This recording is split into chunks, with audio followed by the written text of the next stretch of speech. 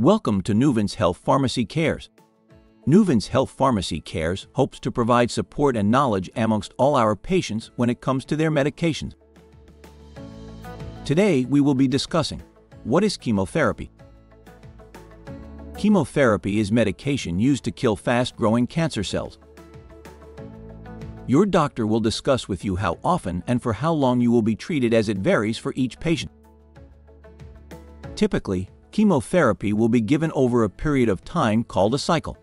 A cycle consists of a period of treatment, followed by a period of rest.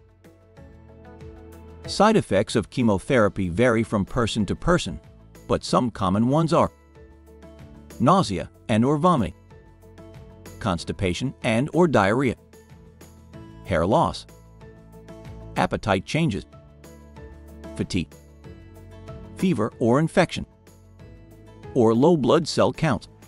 Talk to your Nuvance team on ways to prevent and manage any side effects that may present. Thank you for tuning into our session of Nuvance Health Pharmacy Cares.